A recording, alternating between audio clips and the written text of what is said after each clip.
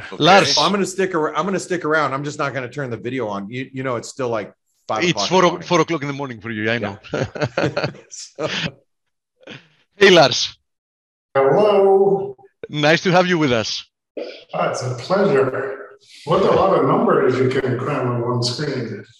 I came in just at the tail end of the previous speaker. Yes, uh, yes, it's uh, the first part of our webinar. It's all about you know the team talking about the financial markets, news, etc. And at the bottom of the hour, we we have an interview almost every day. Uh, let's say four out of five days. Um, so in this case, you are the guest of honor.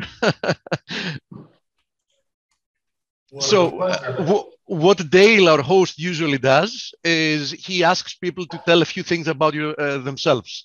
So I guess that's where we can start with you. and and by the way, before you do that, I just want to say nice to meet you, Lars, and thank you for joining our community today. That's my partner Blake, by the way, Lars. But yeah, no, the screen told me that was Blake. Hi, Blake. So, uh, me, I was born in Denmark. Spent a long time in America, as you can probably tell from my accent. Now I live in Greece. I don't know, I don't know Stelios. Um, and um, I, I, I'm, I guess I'm an angel investor, which uh, does my sound no good? Can you hear me? Uh, it, it- Yeah. If if you uh, there is a little bit of an echo. If you if you can plug in an actual microphone or a headset, it would Ooh. definitely help a lot with the quality of sound, uh, Lars. Bear with me. See if I can figure Yeah, yeah, absolutely, mate. Absolutely. Yeah, Lars, the weather looks beautiful there. I like the trees uh, blowing Oh, through. yeah, no, this is, I, yeah, I highly recommend uh, moving to Athens if you're into hot weather and uh, voting on the islands and so on. Lars It's, uh, lives in a very, very nice area next to the school our kids uh, go. That's how I met Lars, actually. His uh, lovely daughter is a schoolmate of my son's. Um, let's give him a second to connect his headphones. Yeah, you guys keep talking. Yes, absolutely. So he lives in a wonderful area, and I have to say, Dale, that we've uh, we've had unusually cold weather uh, during the past few weeks for Greece, but now, uh, since a couple of days ago, we've gone into full-blown um, spring. Yeah, Oh, so it's it's finally here with us. yeah, looks like Southern California, kind of. Just like that. Can you guys hear me? yes, we can. Let's see, I'm not quite sure. Yeah, just choose uh, at the bottom left where it where it where it says mute. It it has a little arrow. It has all the audio settings, so you can switch uh, your audio Yes. to your current headset. Yeah, yeah. Uh, now you're in my headset. Oh, that that Yes. much better. Perfect, you're good. perfect. That's very good. So Lars, And, uh, why don't you tell us a few things? uh, Why don't you tell us a few things about your first career and what you've been doing now? yeah, so so look, I, I'm a computer scientist by training, a PhD from UC Berkeley a long time ago, and uh, then I joined the startup scene in Silicon Valley back in the dot com bubble days. Gosh, this is my third bubble bursting. I mean, not bursting. I mean, I don't know what's about to happen, but uh, but yeah, joined a startup uh, that died in the in the dot com crash. And then uh, I started my own with my brother that did mapping technology, and we we sold our little outfit to Google before we launched. Actually, we were just four engineers and a prototype and some patents, and that turned into Google Maps, which we're super proud of, and still That's by far my most proud of that. successful. Oh, I am. Thank, thanks, Blake. I, Even hearing, I'm, I'm an I'm I'm an Apple user and I refuse to use Apple Maps. I only put Good, Google Maps good, good, on my good. iPhone. So well, thank you. I appreciate that. and uh, yeah, so and so that then I worked at Google for a while, um, and uh, and then I switched to Facebook, which is a very common Silicon Valley career path. There's like a conveyor belt outside of Google that takes you over to Facebook, and I worked there for four or five years, and then I uh, I tried my hands on um, entrepreneurship again. I started a music tech company with. Uh, with my wife who's Greek, which is why I, I ended up moving to Greek, uh, to Greece. And um, that startup still around. It hasn't quite taken off yet. We actually just handed it over to a, a younger team to lead it so that um, we can focus on angel investing. And it's I joke that, you know, if you can't do, you invest. And that's uh, that's kind of what we've switched to. I, we, we started angel investing so very slowly a decade ago, and those first investments, the ones that didn't die, are now starting to show great promise. in fact, probably my my second proudest professional achievement is that I helped start a company in Australia called Canva. Um, that um, was these two kids from a mining town in Australia that wanted to build better online design software and I got introduced to them by a bunch of kite surfing crazy techies that I know that likes Australia because there's good kite surfing. And I helped them build a tech team, the first tech team. Like the, the two founders were not uh, software engineers. And so I helped find out, I put some money in their seed round a lot. And that company is worth $40 billion in their last. It's, it's, it's amazing. Lars, my wife has been using Canva for her small business. Uh, she's, she does a, uh, she's a retailer, online retailer here in Scottsdale, Arizona. She's been using Canva for like five years, and it's crazy that it's developed by two young kids out of Australia. Two young kids out of Australia. Say hi, yes. Couple. That is wild. Wow. They were, yeah, yeah, they were like in their early twenties when we met. A couple, married now, and um, it was just a crazy story. I mean, they they they they had something. You know, it's this weird thing you can't put your finger on it, but they had they had something and they they they had built a little company bootstrapped in their basement that did design software very specifically for yearbooks for schools. And they built that on their own. It was you know small business small niche. Um, but they really really kind of got their appetite up. And then they ran into some silicon valley folks that came by perth the mining town in western australia because there was excellent kite surfing there. And then they started learning about the silicon valley approach to startups and they got hooked on that. And um, and and we ended up helping them, you know, with their pitch, with how to how to structure a Silicon Valley thing. And my particular job uh, was to help them build a tech team. So I'd actually, it's a long story, but Google Maps was kind of created in Australia. Um, I love Australia. Uh, it's my second favorite place in the world after Greece.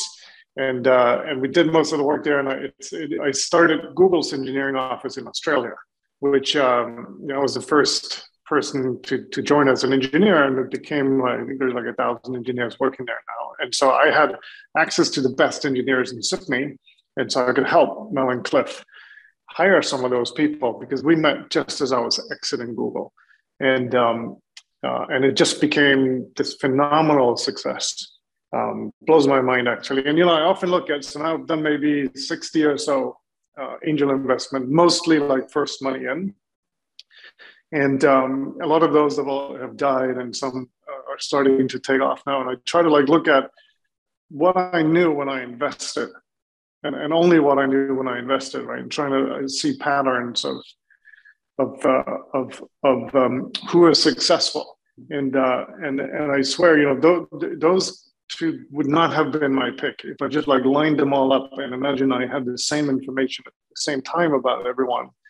And uh, and it was quite um, an amazing thing. But looking back, the things that they had that really stood out was this incredible tenacity. Um, because you know they didn't know much about the space. And it took like two years from when I first when they first started engaging with these Silicon Valley folks. I got maybe a year later involved. It took maybe two years before they actually had a company and they started um, writing code.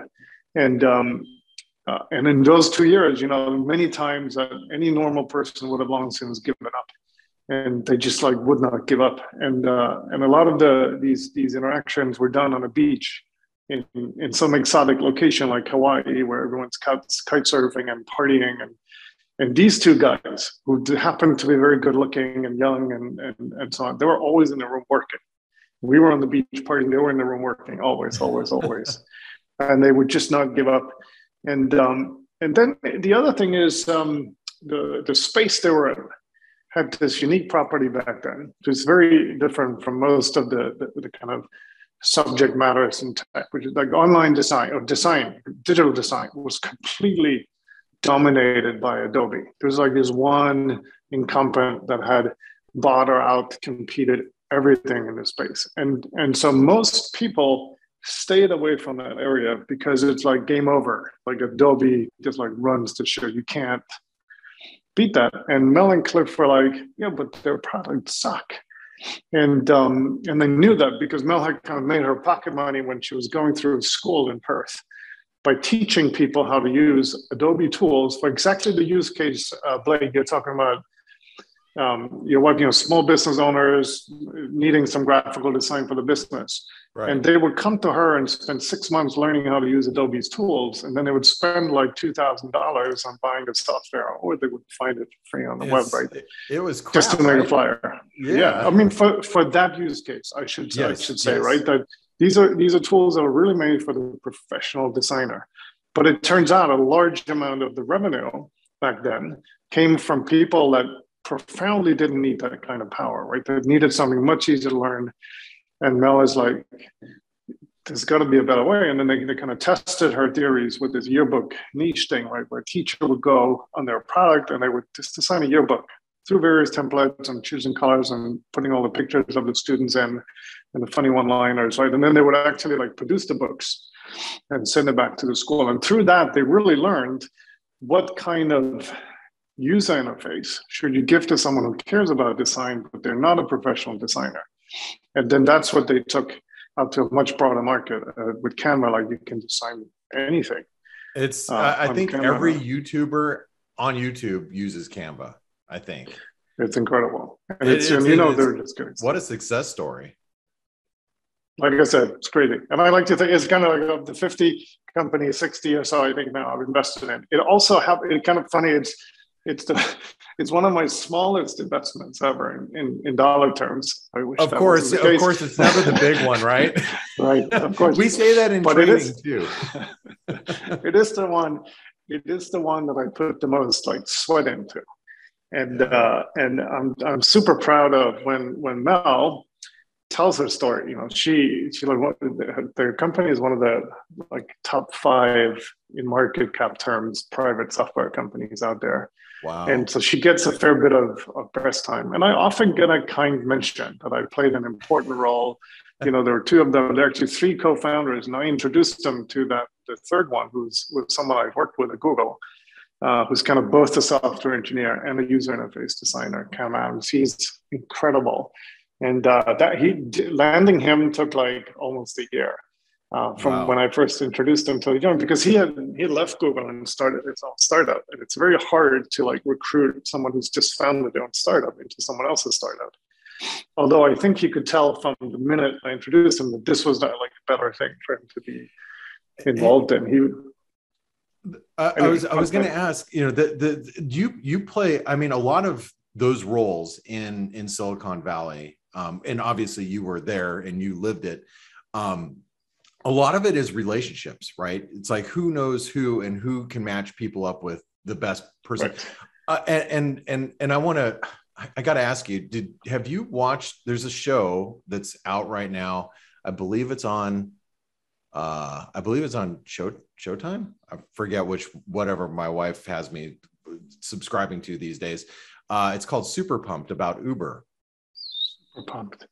Oh my gosh, I haven't seen it. Oh, you you've got to see it. It's uh, the the actor that does it is phenomenal. Anyway, I think it's a.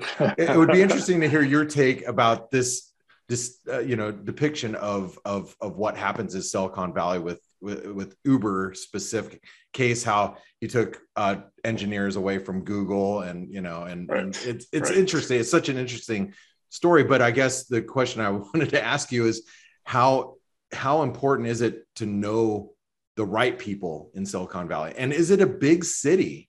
Uh, I mean, a big little town, if you will, or is it a small, big city? I forget how you would say that. No, I mean everyone knows everyone there, right? And yeah. and uh, like when when we when we did our maps thing, we weren't connected to anyone, and um, and uh, we'd been part of this kind of failed academically rooted startup, super super technology crazy. Actually, you all use it every day. You don't know about this because we ended up selling to Qualcomm that does most of the chips in our phones. And this the, the data that gets sent is actually encoded with the technology that this startup had, had um, uh, like owned. There was a professor at UC Berkeley who started. But we did. We were academic. We didn't have a lot of business sense. But we, you know, I met we met one guy. My brother and I both worked there. We both got laid off when the bubble burst, and his company ran out of money. And there was one guy that we met like once or twice. He was on the board of the failed startup, and um, once we got our prototype and mapping up and running, we we gate crashed some panel event, sort of like this, but live, right? That he was in. And we're like, hey, you don't remember us, but we were these guys at that startup that failed that you're in. And from that one guy, we got all of the connections, 10 different VCs um, uh, that all turned us down, and one VC that almost invested. Um, you know, you go through this funnel, and we got, I, I, kept asking them, how far are we in your funnel? And we got to the 70% mark. So, like, we got to a place where they invest in seven out of 10 startups that got there but we became one of the three they didn't invest in. But by the time we are done with that process, they had introduced us to a number of people that they thought would help us out if they invested. One of those guys, Ram Shriram, happened to be on the board of Google. Um, and he's like, look, the same reason Sequoia, oops, I mentioned their names. I love Sequoia actually. Um, That's and, a big name out there it, yeah. it, was very exciting that they almost invested, uh, but they introduced us, you know, and they were very square about it. They didn't, you know, they didn't in any way, shape, or form renege on a on a on a promise, right? They were very clear. Look, you're you're at the seventy percent mark. They even explained which startups end up being in the thirty percent that don't get invested in, and it's it's it's either that one uh, a bigger company turns out to be doing something in their in their space, which was what killed killed our deal that Yahoo was doing stuff in mapping, or they find something wrong where you know something has been misrepresented by the entrepreneurs. That was not our issue. Anyway, so we we found that in a thirty percent category, and the, the didn't get the investment were bummed um, and we had, by the way, we, we had told everyone sort of through our lawyer that Sequoia wanted to invest in us. And you get this, this thing called the blessing of Sequoia, where everyone else wants to co-invest.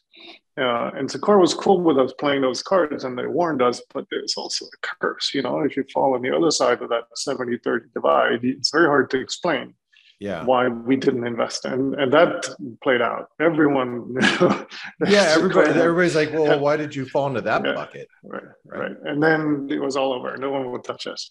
But ram he was like look the same reason sequoia ultimately decided not to invest which was that yahoo was rummaging in the in the mapping space that same reason is going to make Google want to buy you because Google has nothing in this space. Google really loves the idea of leapfrogging everyone. You have this much better thing that just kind of needs the resources to become uh, much, much better than the MapQuest and Yahoo Maps and Microsoft Maps that was dominating back then. And so he introduced us to Larry Page.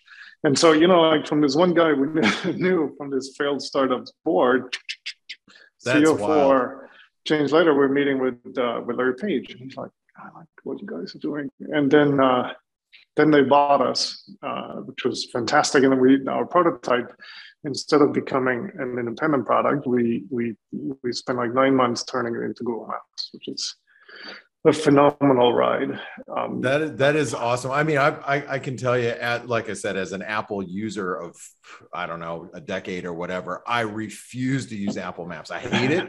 I, I loathe it, and I just go directly to Google Maps, and, and it's the first thing I do. That's the first thing I load on any phone that I've ever gotten for the last decade. The but, fun um, part, Blake, is that Lars also uses Apple products. yeah, and I, I saw I saw his iWatch, so yeah, I figured. I figured. Uh, you know, he probably falls in the same camp as a lot of us, uh, people that have adopted iOS. Uh, you know, the the the um, the, the, the not technology. The um, I want to say the biosphere, but that's not even it. But you know, we've adopted all the you know Apple technology, but we I, I still refuse to use their maps. I always and Lars, your brother worked also uh, for a moon in uh, in Apple. Am I correct on that?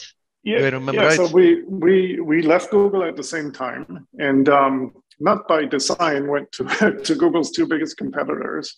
You know, I went to Facebook, and Jens went to Apple, and um, and actually him specifically was like, hey, I know a little bit about maps. You guys seem to be uh, struggling. I'm sure he put it very diplomatically, and so they brought him on board to try and, and, and help them. And what, a couple of things I want to say about Apple Maps is one, one thing is that it was one of the like the highlights of the Google Maps success that um, that the original iPhone, before anyone could write third-party apps, came with a Google Maps app built in, and that just like, and it was you know blew my mind. And actually, interestingly, we, my brother and I didn't even know this was happening. Wow. That you know, Apple's secrecy that Steve Jobs was still around, and his secrecy was so intense that we couldn't even know about it. And uh, Eric Schmidt, who was the CEO of um, of Google back then and sat on Apple's board, he one day he was like, "So hey, you should check out Steve Jobs when he's on stage. You're gonna like it. that's how we found out that Eric was like, "You should love. You should look at his presentation." And there's our baby on this magic phone, and uh, and it was funny because we'd always like talked about, you know, for for for maps really to take off, you need it in your pocket. And uh, but no one had made a phone that made that viable. Actually, before the iPhone, Google Maps we had a ton of different apps, a ton of different phones, and we were by far the most downloaded mobile app of its day, and nobody used it. Like when we look at our usage graph and compared web browsers to mobile phones, you couldn't even see mobile phones until the iPhone came out. And, and like within months, suddenly you could see that graph and we could plot out when they were going to cross over. And of course, now it's it's you know it's the web it's the web graph that you can you, you know what's interesting lars? i, I got to tell you this just for it, it, it, ties into the way i know steve and and greece uh, so uh, when i met steve in person which steve how long ago was that? Eight years ago? Seven years ago something seven, like that yes. eight. yeah and and the the thing about uh, cell phone technology at that point in time especially when you travel outside the united states it just it wasn't as proficient. Like i had to go I had to call to get, you know, international. It, it, wasn't, you know, just easy, right? And so I used to just connect to the internet via, you know, wherever, um, you know, I was getting coffee or when I was in Athens. And um, my son was being baptized where my wife and I got married on Milos. Uh, so, oh, I, yeah, and so, so, I swung by to uh, to meet Steve on my way out of the country, my sister and I. But you know what's funny is I actually always ran Google Maps on my phone because no matter where I was at, I could see myself on Google Maps, even if I didn't have internet connection at that point. Right. That was like eight or nine years ago. Isn't that wild? All right. That is a while, yeah. What kind of phone was this? Was it an iPhone, an early iPhone? I can't remember, but it was like I just downloaded. I, I just started using Google Maps at that point. So yeah, I don't. But I remember looking at Google Maps and saying, I, am walking around Athens with no cell connection, you know, right. but I but I could see myself on the map, so I knew kind of where I was at. So it was, right, right, right. awesome. So um, Blake, I, I, think Lars is the perfect person to have here uh, for him to answer a few questions. He's been, he's been in the in and outs of um, the tech startups and angel investing, as he said. So um, it's a discussion we've had when we were on vacations and uh, prior to this. Uh, I think it's a good idea to get his take on where he thinks we're currently in the cycle. Uh, he already mentioned uh, that he had been there in the 99 2000 uh, tech bubble burst. Uh, he was there definitely in the 2008 2009 financial crisis Lars, from your side of the river, how does it currently feel? What do you, what do the people you work with, etc., think about what's happening at the moment? Has liquidity obviously started drying up? Uh, how how does it feel to you? Yeah, no, it feels like uh, it feels like there's a really high chance of a similar kind of rapid downturn in terms of the availability of venture capital for tech startups. And um, it hasn't quite happened yet, but everyone that I work with are preparing for this mm. um, and, and kind of freaking out.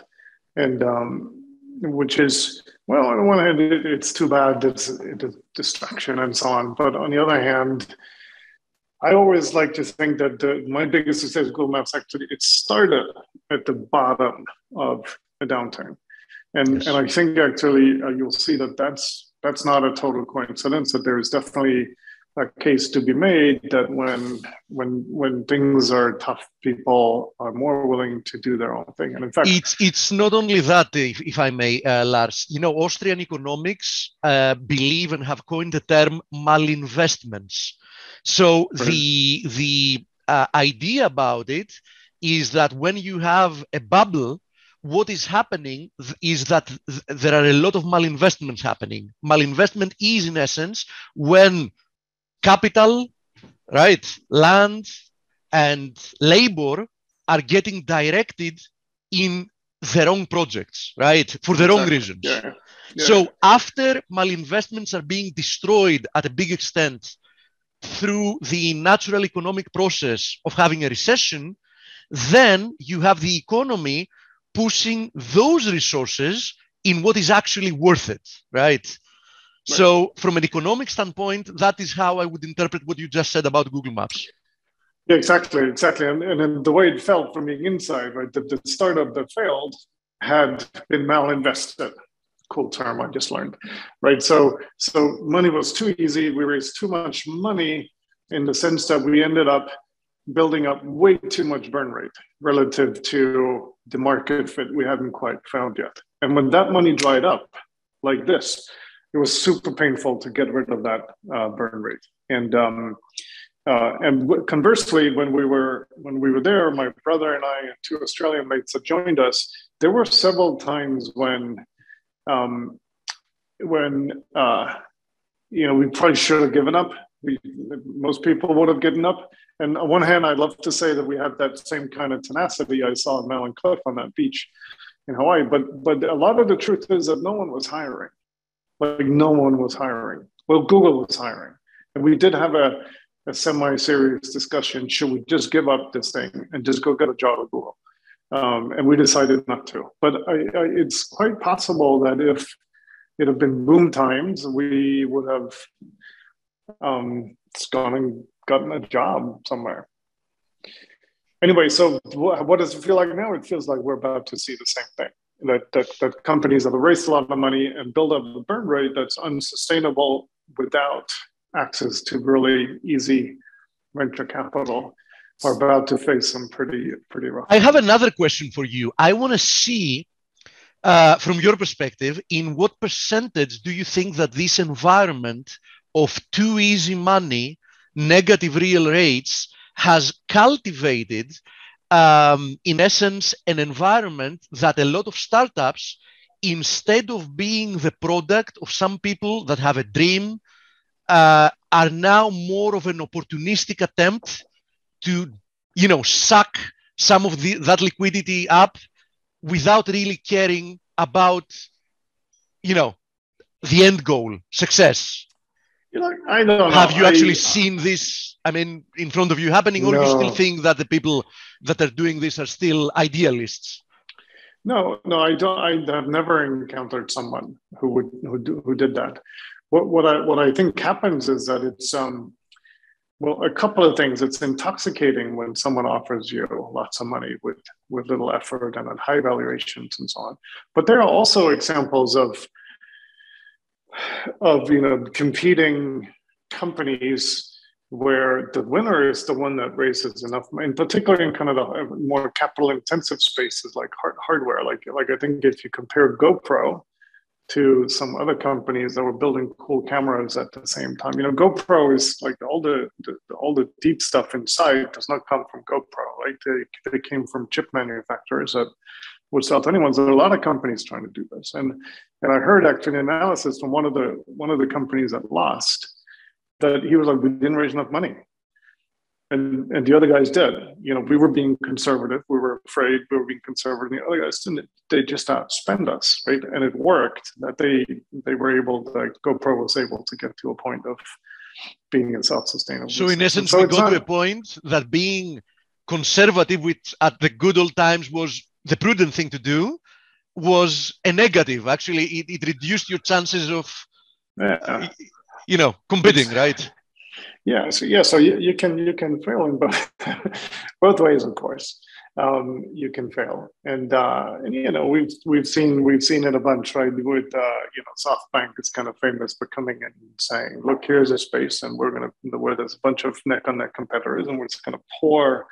extraordinary amounts of money into one of them and just tell them to outspend the other guys, right? And sometimes that works, and sometimes it becomes some pretty spectacular failures that um, isn't there also like you were mentioning uh, i think about uber i think there's there's a series out there about uh, WeWork too isn't there oh yeah I, I, I, have not seen that one i uh, just the um, the uber story is just so interesting to me you know yeah. and travis look i yeah, yeah. I, so. I, do, I don't know uh, i don't know much about uber i had a few friends who worked there who seem to indicate that the, the kind of cultural issues that got talked about a lot were somewhat very very toxic from what it seems like. Yeah. And i remember reading and, a lot about it in the news over the years you know. So and it's interesting like my impression of like like the, the the the culture inside startups can actually be dramatically different. And i think like the culture inside canva is the diametrical opposite of the culture that i sense from the outside in, in a company like Uber. It's very different. Oh, hey, Lars, sure. uh, this is uh, Dale Pinkert. Nice to meet you. Enjoying hearing your story. It's inspiring. Uh, can you tell Dale's me how host, guy, Lars. Uh, can you tell me how a guy I forgot his name, the guy from WeWorks, uh, ended up in a position like that and attracted all that capital? Um, and he thought he was the Messiah. kind of looked like him. Look, I, I, don't know. I don't know. I don't know the inside. Uh, I don't know the inside of this. Uh, only okay. what I've read. I, uh, you know, you know, and but I think it was this, the SoftBank approach to investment is that you know they're they have so much they have so much cash to invest like a hundred billion dollars and uh, just like an extraordinary amount of money and they, they kind of have to deploy them and they they build up this theory that they would look in these they would identify an area where there were a bunch of sort of neck on neck offerings where, where they believed that simply adding money would give one company the competitive edge. And then I think they would like go to all of them and say, hey, here's this extraordinary amount of money that you would never even dream that you could raise right now. I'm going to just like throw it at you um, so that you can outspend your competitors. And I think that's basically what, what happened. And he was, you know, the, the WeWork guy was the one who um, Neumann. Took the money. Adam Adam Neumann. Neumann. Yes. That's yeah. That's okay. that's it, it is it is crazy and and what timing too just uh, ahead of the pandemic I mean um, Lars I, I got a yeah. question for you since you since you you're, you're invested in so many different companies and I and I think a lot of people that are entrepreneurs um, you know my wife would be included in this bucket. You could throw her in this bucket as well.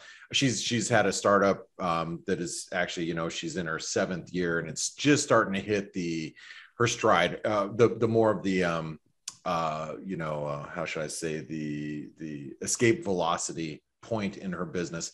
But when you yep. deal with startups um, you know whether technology or not technology when when do you see companies that do survive um, where do they hit their stride usually where they're they're like you know the the, the, product or the the service is now proven and and starting to make money and it's really starting to take off? Is there is there generally a time span within that first 10 years that are, are is a sweet spot for growth?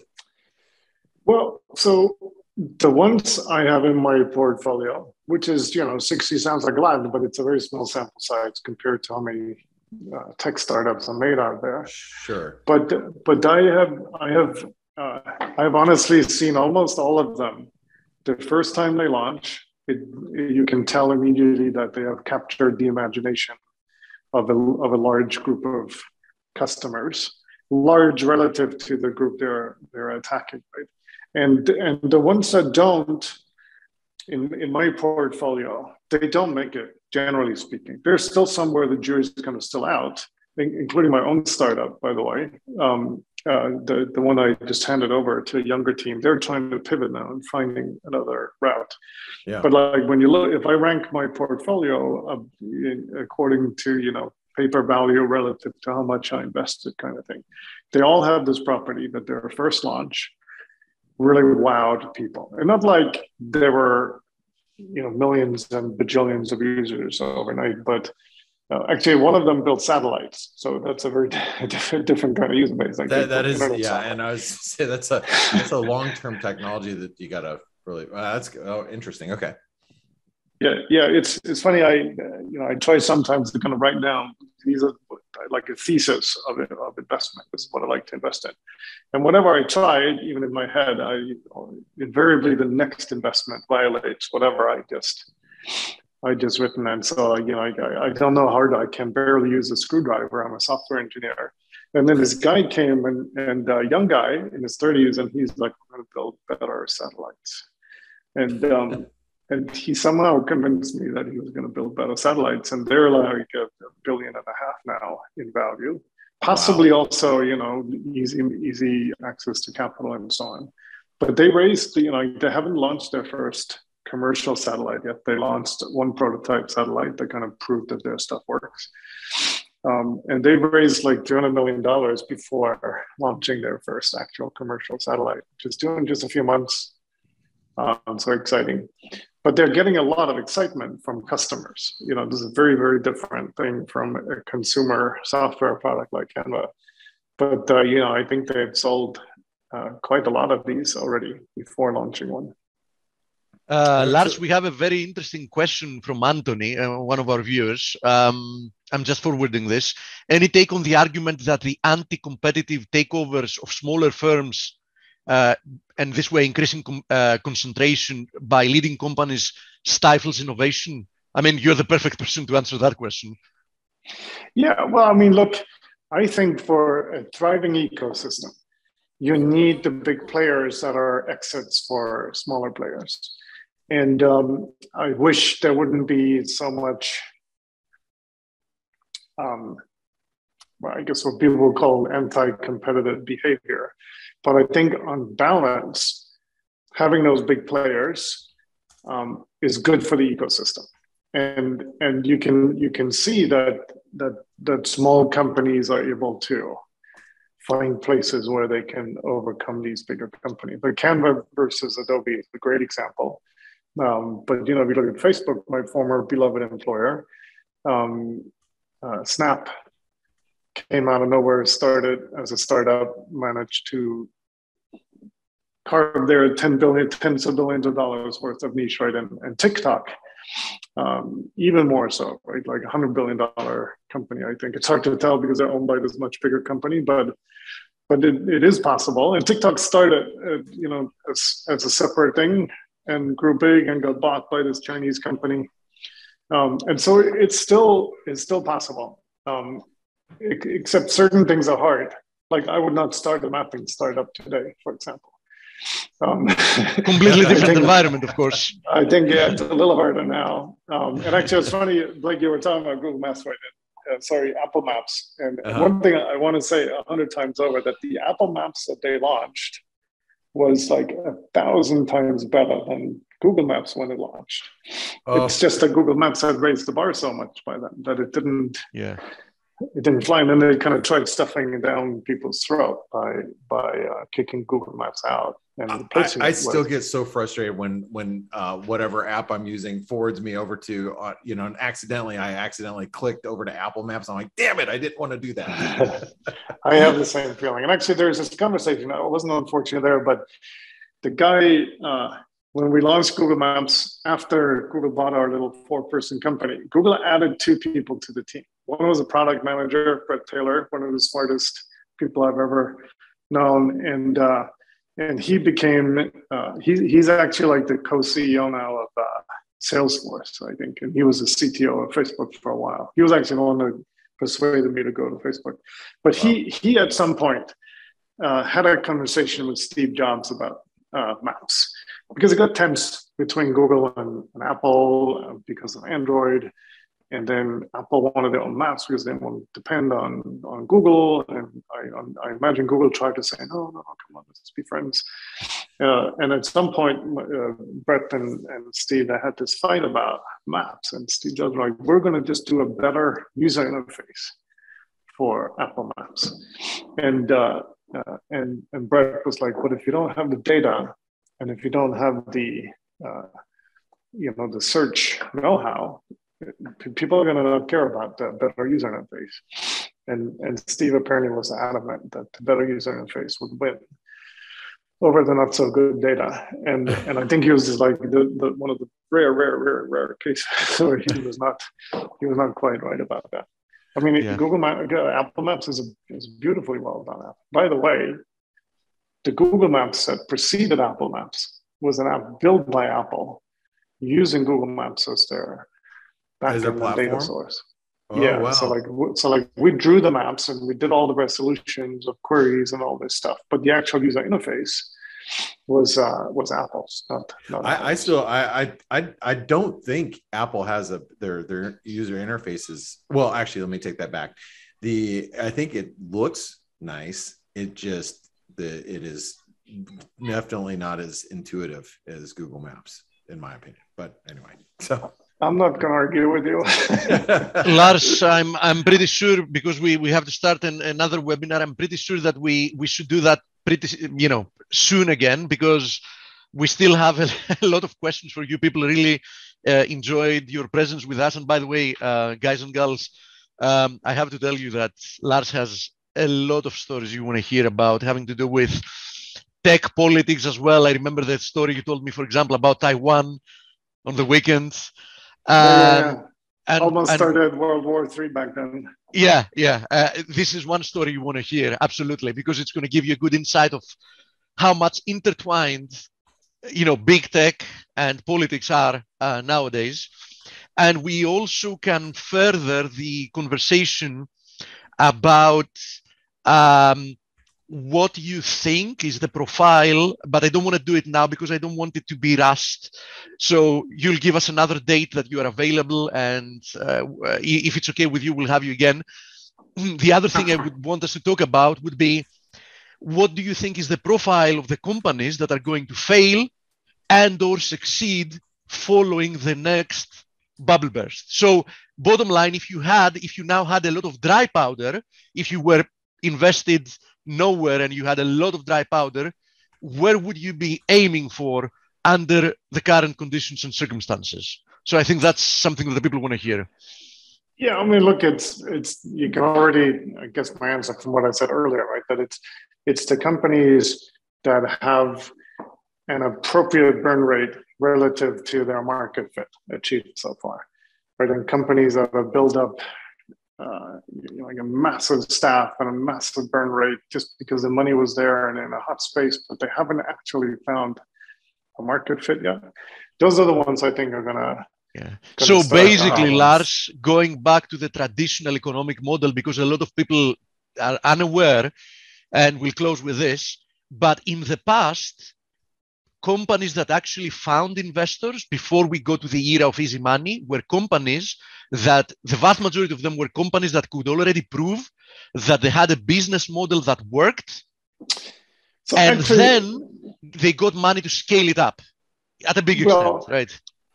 So, okay, so yes, but I think it doesn't have to be business model as in you're starting to make growing revenues and so on. It, that's a, an awesome thing to have. But you can also just by proving a strong market fit in the consumer space, you will still be able to, uh, even after the crash, right? If you have a lot of engagement and user growth and so on, um, I think that'll still work. Like a, a lot of like consumer products grew very like you know Google and Facebook are good examples, right? They, they grew super super big without having revenue. And then once they had that user base, they started making revenue. And uh, and I, I'm pretty sure like if Facebook, given its growth rates before it started making money, could have would have easily raised money even in the the, the kind of downturn that we're about to enter. Dale, let's yes, let's find let's find the date for uh, Lars uh, for next month, if that's okay with you, Lars. Yeah, absolutely. Okay, perfect. Okay. So Lars, I'll, Lars I'll really, really appreciate you spending your time with us today. It's uh, really pleasure. nice, nice to meet you, and and really Likewise. quite a pleasure. Likewise, everyone, take care. Yeah, you do, thank you, Lars. Thank you very much. Thank you, Lars. Uh, thank you so much, Lars. Yeah, maybe we'll meet someday. I, I dream of going to Greece. You you all should come to Greece and we'll go we'll go on a boat ride together and talk tech. You have to ask right. me to ask me about the Taiwan story once if we have a little drink and also the brothel story. Steve, I haven't told you the brothel story. No, you haven't. So that's something but, to look uh, forward. Yeah, yeah, oh, figures there'd be sex involved in tech, right? Anyway. Right. By the way, I don't know what you're doing tomorrow. We're going to the Attica Zoo with the kids. If you want to join us, we'd love to. Speak with, I'll speak with Elomida. Yes. All right. bye bye, mate. All right. That's good. Bye. bye. So, uh, everyone, uh, the team's uh, doing the morning edge two minutes ago. And I want to thank you guys, everyone here, for your attention. Just a reminder sign up so you can watch the event next weekend live at Trader Summit. Uh, keep, uh, you know, still considering uh, trader funding. And uh, thank you for being here. We left it all on the court for you this week. Hope we added value. Uh, that's our goal every week. And uh, we're here to build up and edify traders every day. So have a great weekend. Thank you, team, for everything. And most of all, don't just count your pips, count your blessings. Have a great weekend and happy anniversary, team. Yeah, happy our, anniversary. Thanks, Dale. Really appreciate okay. you. Adios, adios, everyone. Have a great weekend. Bye bye, Dale. See you. Good job today, Steve. Really nice.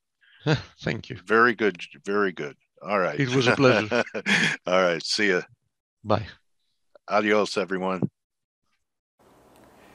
Hey traders, this is Blake Morrow with ForexAnalytix. Thanks for stopping by our YouTube channel. Don't forget to like these videos, share them, and subscribe to our channel so you don't miss any of the content that we provide here for free.